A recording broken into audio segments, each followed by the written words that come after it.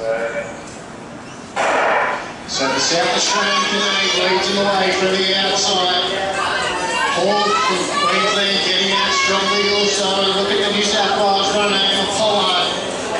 Making up the benefit already. On the Queenslander, she goes in hard on Alesha Bennetts. And the New Zealander, Amelie Fairclough, wanting to make the most of the trip out to Australia for this race. And it's close between those top six girls at the moment. Fairclough, the Kiwi, looking to position herself nicely as they're coming the home straight.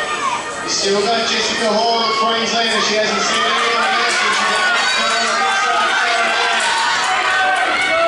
It's Pollard, the New South Wales, off by Alesha Bennetts.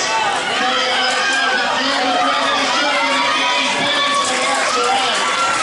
Seats up the well-timed run. Fairclough from New Zealand will get up for the bronze medal. But a terrifically timed 400 metre championship win there to Alesha Bennetts of New South Wales.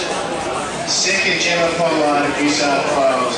And Amelia Fairclough from New Zealand will snatch the bronze.